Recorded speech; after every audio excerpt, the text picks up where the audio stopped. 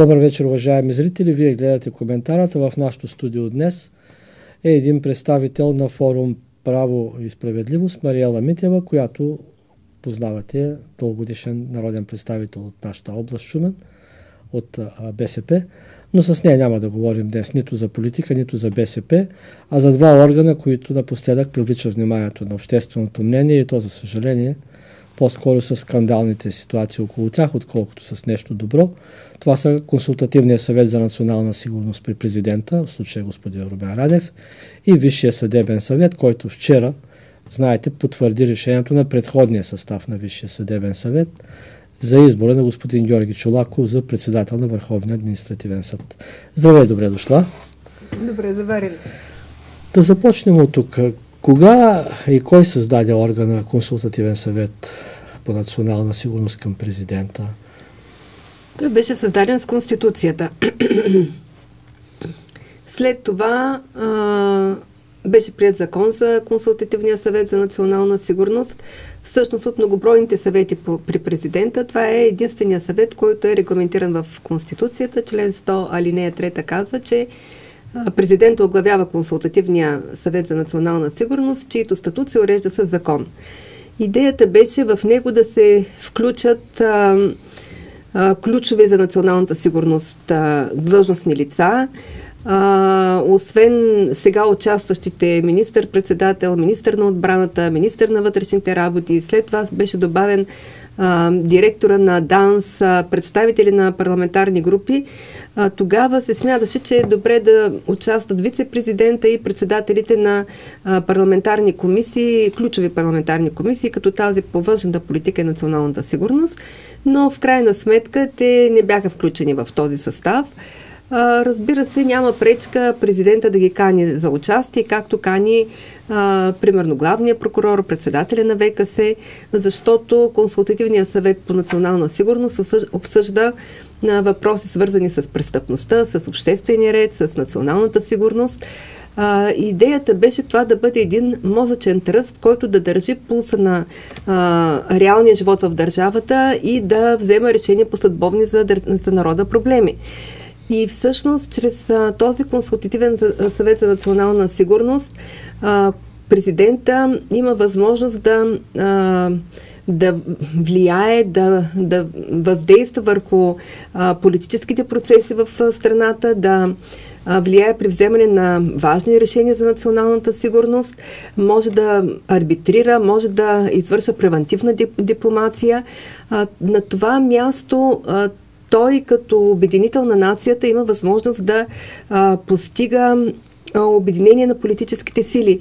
И макар, че консенсуса не гарантира правилни решения, той в крайна сметка създава един добър климат а, политически климат и, с, и интегрира усилията на различните участници в а, политическия живот за постигане на определени цели.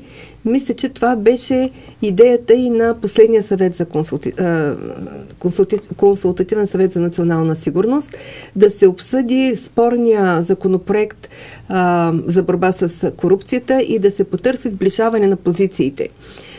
Консултативният съвет за национална сигурност не е политическа седянка, нито пък някакво скришно място, където се постигат договорки. Там хората изразяват открито своите позиции и се правят опити да се постигне някакво общо решение, за да се избегне от една страна президента да избегне конфронтация с парламента по ключови законопроекти, предварително да се изчистят въпросите, които биха могли да провокират а, налагането на президентско вето. А, чрез консултативния съвет за национална сигурност той а, може да играе м- ключова роля в, в държавата. А, така че този орган е изключително важен. А, зависи вече от всеки президент как ще го използва. А, от, например, Желю Желев го използваше предимно като кръгла маса. Петър Стоянов а, го използва, според мен, по-скоро, за да изива ръката на опозицията. А, знаете, че на консулти... по време на консултативен съвет за национална сигурност или на консултативен съвет за национална сигурност Георги Първанов и Николай Добре върнаха мандата за съставяне на правителство. Така че това е много важен орган, а, орган, който наистина има огромно значение за, за живота на българските граждани. Въпреки, че е така, почти не е имало президент, в чието мандат да не е имало скандали. Скандалите ги правят предимно представителите на политическите сили, които използват този съвет и за собствения си рейтинг, и за демонстрация на собствените си идеи, съгласие и несъгласие. Малко по-далеч във времето е мандата на господин Парванов. Не си спомням вече при господин Плевнелев. Ето сега и първите заседания при господин Радев. Общо взето не минават по начина, по който ти описа, че сте решили, когато сте включили този орган в Конституцията. Нашите зрители не са забравили, че ти си един от създателите на сегашната Конституция. Ти каза какво сте мислили, но има ли случаи, в които замисъл е реализиран в полза на гражданите? Има случаи, в които замисъл е реализиран в полза на гражданите а, и ми се струва, че едва ли ще ни стигне времето да направим подробен преглед на Конституцията, е, не е това. това за, не е да, за да посочим а, тези примери. Консултативният съвет за национална сигурност също е в полза на гражданите. И дори а, това, че той сега не успя да, да постигне съществено сближение на позициите, а, не означава, че той е лишен от смисъл. А, нека да не бъркаме нещата. За съжаление, а, тогава Народното събрание не се съгласи тези решения да бъдат задължителни. Те имат само съвещателен характер. Ако обаче те бяха задължителни, то тогава а, съм сигурна, че този консултативен съвет за национална сигурност ще, ще да излезе с едно окончателно решение. Факт е обаче, че в една по-спокойна среда, в една по-спокойна атмосфера, а, политическите сили успяват да изложат своите становища а, и да се види дали е възможно постигане на някакво компромисно решение. А, така че м- в никакъв случай самата, самата демокрация в полза на гражданите, тя беше установ... а, закрепена с новата конституция. Има много примери, но пак да кажа, за мен е този консултативен за национа... съвет за национална сигурност не може да бъде наречен успех. Просто това беше един нужен опит да се а, види какво е общото в позициите на двете политически сили, какви са различията и дали те са преодолими. За съжаление, в пространството беше изведен един а, периферен въпрос, като едва ли не основен, кой да назначава а, ръководителя на този е, антикорупционен орган. А, това няма кой знае какво значение. А, по-важно е вече а, начина на организация, същността, с която, дейността, с която ще се м- занимава този орган, правомощията, които той ще има, а всички тези изключително важни въпроси останаха в страни от вниманието на, на общественото мнение и м- голяма част от хората ми се струва, че са в неведение по тези важни въпроси. А, дори, дори да няма съгласие относно това кой да назначи а, ръководителя на, на този антикорупционен орган, а, факта, че политическите сили разговарят сериозно за това какви да са правомощите на този орган, как да бъде създаден той, вече е съществен напредък. Добре, но те гласуваха там и се получи една конфузна ситуация за господин Радев. 12 срещу 2, той остана в младсинство заедно с лидера на БСП Корнелия Нинова именно по двете теми, които са спорни и по които имат много остър дебат между ГЕРБ и БСП. Дали този орган да има разследващи функции, кой да назначава неговото а, ръководство. В такъв случай след гласуване се получава някакъв резултат, а, който не винаги е консенсусен. По-нататък какво? консултативен съвет, т.е. решенията му няма задължителен характер. Да, те няма задължителен характер. Очевидно е, че а, поли... мнозинството в парламента ще приеме това, което смята за правилно. А, президента ще направи а, преглед на окончателно приятия законопроект. Може, в случай, че не е съгласен да упражни правото си на вето. А, и да се следва от там насетне вече конституционно установената процедура за приемане на, на закона за мен е това, че само двама души не са били съгласни, всъщност е наличие на консенсус. А, проблема е, нали, липсата на консенсус а, се появява от това, че всъщност един човек е президента. А това е, той е отделна институция. Той не е обикновен член на този консултативен съвет за национална сигурност, но се надявам все пак да с времето ам, и политическите сили, и, и президента да м, в интерес на хората да успеят да намерят ам, общо приемливо решение. А, със сигурност този орган, след като бъде конституиран, ще заработи. А, в процеса на неговата работа вероятно ще възникнат проблеми. Това е неизбежно. А, и вече начина по който той функционира, резултатите, които дава, ще насочат а, политическите сили към приемане на вярното решение. Кой определя проблемите, които ще обсъжда съвета? Президента или предварително съгласуват темите, или политическите сили, останалите участници в съвета са принудени да приемат тезата, която предлага? Ами всъщност по Конституция президента възглавява Консултативния съвет за национална сигурност и би следвало той със своите секретари, екипи, съвети да съгласува по някакъв, да начин. съгласува по някакъв начин тези а, въпроси и все пак а, трябва да, нали, да има яснота а, дали хората, които ще участват в този консултативен съвет за национална сигурност, са склонни да обсъждат тази тема, смятат, че тя наистина вече е на дневен ред, защото има теми, които са важни, но в момента не са на дневен ред. А, така че, в крайна сметка, официално президент определя дневния ред на Консултативния съвет за национална сигурност. Той се свиква на редовни заседания на всеки 3 месеца, може да се свика на извънредни заседания. Например, при Георги Парванов той се свика всичко на всичко 11 пъти. За 10 години. За 10 години, да. Тоест, Тоест той, той не спази това изискване. Еми, за трите месеца не го спази, да.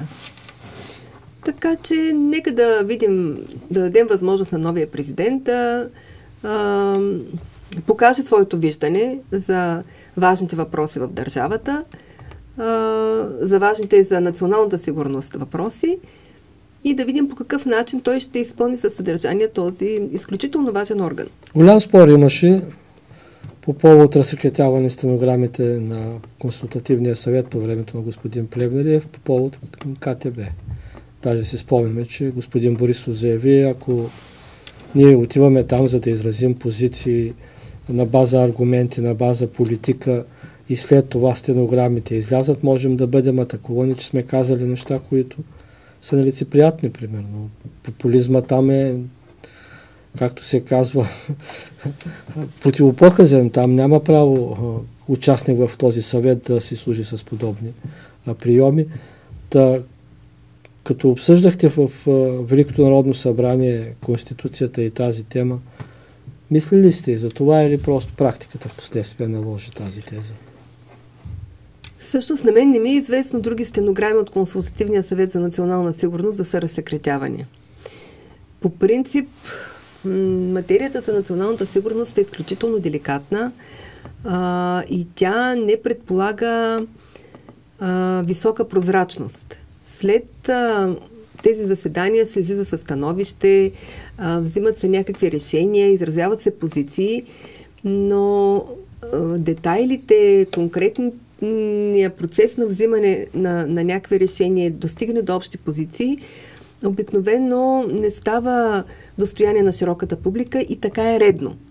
Защото материята за националната сигурност е изключително деликатна, не може всичко да се казва на всички.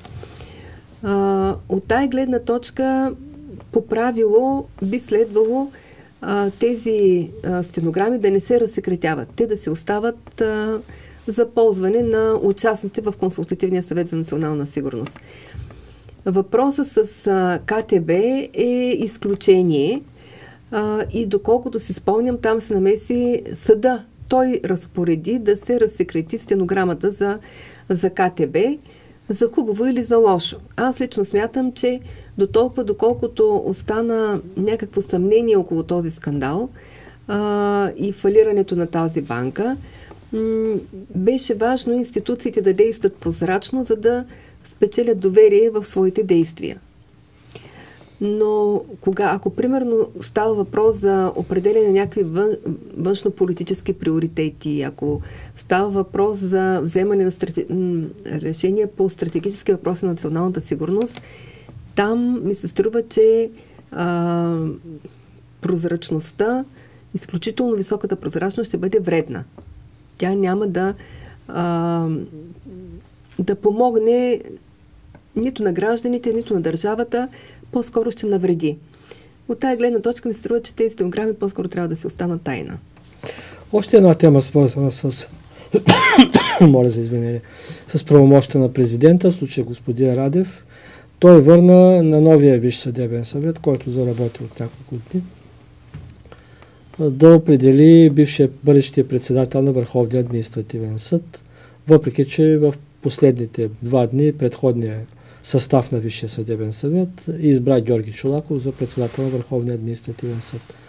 Като че ли никой не оспори правото на президента да поиска ново гласуване или процедура, която преценят от Висшия съдебен съвет, но да потвърдят този избор, но го опрекнаха, че нямаше мотиви в а, а, указа, с който върна за ново разглеждане. Допусна ли някаква грешка? Правна очевидно не, но политическа? Мисля, че той постъпи политически правилно.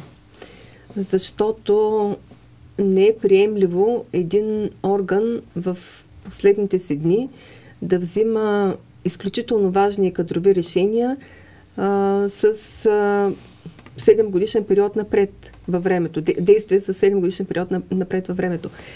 А, защото толкова е мандата на председателя на административен съд. И от тая гледна точка ми се струва, че президента взе единствено вярното решение.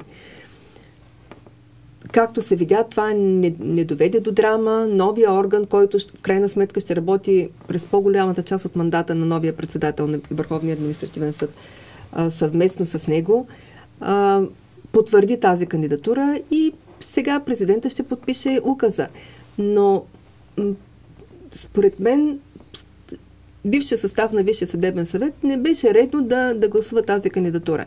Колкото и да се притесняваха, че, са, че времето напредва, че мандата на стария председател изтича, трябваше това да се остави на, на новия Висш съдебен съвет, който да се организира и вече с, облечен с доверието на две трети от народните представители. Стария Висш съдебен съвет беше избран с мнозинство повече от половината. Докато този състав на Висшия съдебен съвет беше избран с две трети от народните представители, той да реши кой ще оглавява Върховния административен съд за 7 години напред. Свидетели сме как президента налага вето на даден закон, ето сега връща решение на Върховния административ... на Върховния Висшия съдебен съвет, извинявайте, за ново гласуване, но при потвърждаване на тезата, която вече е върната, той е длъжен да подпише указа и за публикуване на закона, т.е. закона е обнародван и започва да действа, по същия начин легитимира и избора на в случая председателя на Върховния административен съд. Това не е ли едно омалуважаване на възможностите на президента като символ на единството на нацията и избран наистина от всички мажоритарно, да влияе върху тия процеси някакси не само до края развити правомощията в тази област. Когато гласувахте Конституцията, помислихте ли за това? Ами всъщност мислихме за много неща, включително и за това. А, тогава м- се смяташе, че е, ние го записахме в Конституцията България е парламентарна република и република с, пар, с парламентарно управление. От тая гледна точка а, логично е президента да няма чак толкова много правомощия. Ние не сме президентска република като Франция, например. И заради това в търсенето на баланс между властите се прецени, че той има право на коректив, има право да накара парламента или Висшия съдебен съвет още веднъж да обмислят своето решение по даден въпрос, но той не може да ги принуди да вземат решението, което той смята за правилно. Защото ам, се смята, че всъщност, както той е избран пряко от народа, така народните представители са избрани от, също от този народ. И при това разпределение на правомощията, В крайна сметка, законодателната власт е парламента и той ще вземе окончателното решение по какъв начин ще а, регламентира определен тип обществени отношения с съответния закон. Сега да сменим малко темата. Ти представляваш един форум, неправителствена организация. Да. Е това. Малко повече информация. Това е нещо ново. Ами всъщност... Непознато за нашите самата, зрители. Да, самата организация също е сравнително нова. Тя е член на Обществения съвет към Висшия съдебен съвет. А, интересува се и работи изключително много върху проблемите на съдебната реформа. В а, началото на лятото ние направихме една кръгла маса с участие на членове на Висшия съдебен съвет, а, съди от Върховния касационен съд, Върховния административен съд, прокурори, следователи, представители на политически сили, а, свързана с съдебната реформа, защото си дадохме сметка, че а, разговора върви трудно. От една страна, защото се оказа, че от съдебна реформа, както от футбол, разбират всички. А от друга страна, защото в съдебната система като че ли вече има ясно оформени лобита, които са в доста силна конфронтация помежду си. Публично известен е конфликта между председателя на Върховния касационен съд и главния прокурор. И това пречи на диалога вътре в, в, в системата. Ние се опитахме да, да създадем един форум, където да можем спокойно а, с професионални аргументи да търсим полезните решения. И всъщност а, тогава поставихме а, въпроса за участието в Висшия съдебен съвет на а, научни работници, а, професори, изтъкнати представители на, на науката, а, които с, а, и с научните си знания, и с жизнения си опит могат съществено да допринесат и да бъдат полезни за тази реформа, която се извършва. Поставя се въпрос, поставяха се вече и редица специфични въпроси, като например изоставането с а, съдебната карта. А, е, ясно е, че в България има диспропорция в натовареността между съдилищата. Примерно има много голяма натовареност в а, а, Благоевград и доста по-ниска натовареност, да кажем, в Ямбол. А, тази диспропорция по някакъв начин трябва да се преодолее. А, има изработена съдебна карта. Прокурорите напреднаха. А, има, борят с една крачка напред пред съдебната колегия, защото те взеха решение тези а, да останат а, прокуратурите в областните центрове, а останалите да бъдат като териториални звена а, към тях и по този начин ще намалят състава на административните ръководители. Ще има и други последици, които а, ще се усетят. Ще, ще бъде създадена възможност за по-голяма мобилност при създаване на прокурори от екипи. А, така че има доста въпроси, свързани с реформата на съдебната власт, които стоят.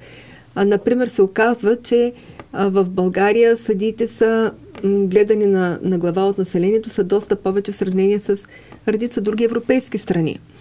А, оказва се, че разходите от брутния вътрешен продукт, който България разходва за съдебната система, е доста по-висок в сравнение с други европейски страни, ако се съди по информационния лист на Европейската комисия. Тоест, има въпроси, които трябва да обсъдим спокойно, професионално, без да се подаваме на емоционални влияния, а, на непрофесионални мнения и така нататък.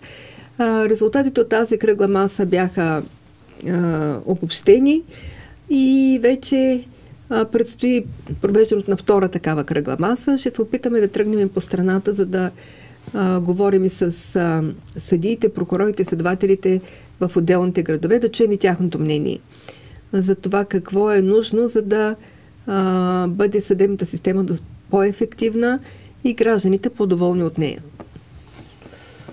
А до депутатите как ще стигнат изводите на кръглите маси? Защото без промени в законите няма да стане. А, разбира се, че а, проблемите в законите са, са ключови, но има и достатъчно други проблеми, които са извън а, полето на действие на депутатите и депутатите бяха уча... поканени като участници. Ние раздадохме резултата от дискусията беше събран в една книжка. Ние ги раздадохме на народните представители да ги вземат предвид и се надяваме да, надяваме се, че сме били полезни. А, като неправителствена организация ние няма как да принудим народните представители и изобщо участните в властта да се съгласят с нашите виждания. Ние можем само да създаваме обществено мнение, да а, провокираме мисленето и да предлагаме решения. Но кое решение точно да се вземе, това ще го решат тези, които са призвани за това. И последен въпрос за нашето интервю тази вечер. Господин Юнкер, председателя на Европейската комисия, заяви, че до края на мандата му председател, т.е. до края на мандата на Европейската комисия, мониторинга върху България ще бъде свален. Има ли такива шансове? Или това са просто добри думи и жест към България и така? Всъщност той каза, че ще се установи мониторинг върху всички държави в Европейския съюз, а не само върху България и Румъния, доколкото си спомням. А, от тази гледна точка това означава, че Румъния и България няма да се чувстват а, дискриминирани, като едва ли не единствените държави с проблеми в съдебната система. Но ми се струва, че това не означава, че изобщо ще отпадне наблюдението. По-скоро той говореше, че ще има наблюдение върху всички държави в Европейския съюз, не само върху България и Румъния. Ако правилно съм разбрала. А дали има шансове да отпадне, отпадне механизма за сътрудничество и проверка? Трудно е да се прогнозира, защото все още ми се струва, че резултатите, които показваме, а, не са удовлетворителни. И при това положение а, вече въпрос на, на преценка. все още доверието на гражданите в съдебната система е изключително ниско. Аз просто съм смаяна от толкова високо недоверие. А, това се преодолява с много работа, много усилия, изисква много време. А до края на председателството, мисля, че остава там на господин Юнкер, остават няколко години. Не съм убедена, че за толкова кратко време а, бихме могли, би могла съдебната система да, да промени отношението към себе си. Аз, разбира се, пожелавам успех и ще съдействам с каквото мога. Но когато говорим за реалности, когато говорим за а, процеси, има едни технологични срокове, които ми се струва, че трудно могат да бъдат избегнати. Но разбира се, бих се радвала много, ако се окаже, че а, ние сме покрили вече всички критерии на Европейската комисия и необходимостта от този механизъм за сътрудничество и проверка е отпаднал. Благодаря ти много за това интервю. Желая ти успех.